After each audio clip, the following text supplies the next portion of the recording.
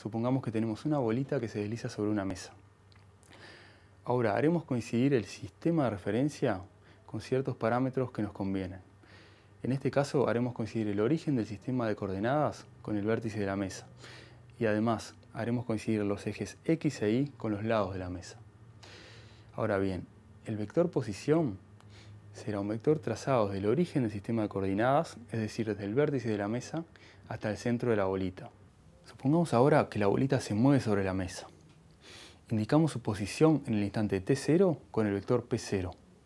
Algunos segundos más tarde, indicamos su posición en el instante t1 con el vector p1. Debemos a continuación introducir dos conceptos diferentes, ambos necesarios para la descripción de un movimiento. Estos son desplazamiento y trayectoria. ¿Qué es el desplazamiento? El desplazamiento es una magnitud vectorial que indica el cambio de posición de una masa puntual entre dos instantes bien definidos. Sus unidades son el metro en el Sistema Internacional de Unidades. En concreto, y siguiendo el ejemplo anterior, el desplazamiento para la bolita será un vector trazado desde el centro de la bolita cuando ésta se ubica en la posición inicial, en el instante t0, con el extremo en el centro de la bolita cuando ésta se ubica en la posición final, en el instante t1. Esta magnitud vectorial se obtiene a partir de la resta de dos vectores, el vector posición final, P1, menos el vector posición inicial, P0. La velocidad media entre dos instantes es la magnitud vectorial resultante del cociente entre el vector desplazamiento y el tiempo comprendido entre los instantes. Está expresado en unidades de metros sobre segundos en el Sistema Internacional de Unidades. Se ve por su definición que la velocidad media no es una magnitud representativa del recorrido del cuerpo.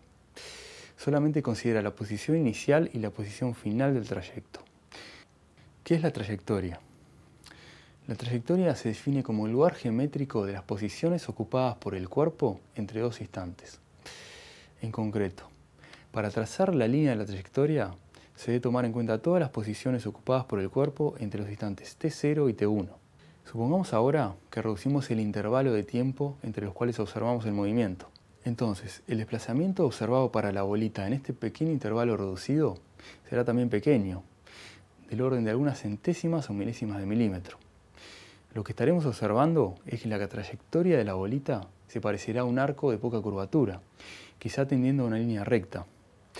De hecho, cuando menor sea el intervalo de tiempo, más parecido será el vector de desplazamiento a la trayectoria o lo que es lo mismo, más parecido será el módulo de la velocidad media con la rapidez. Si hacemos el intervalo de tiempo infinitesimal, es decir, que tomamos el instante t1 prácticamente idéntico al instante t0, obtendremos la velocidad instantánea para el instante t0. Su módulo resulta idéntico a la rapidez instantánea.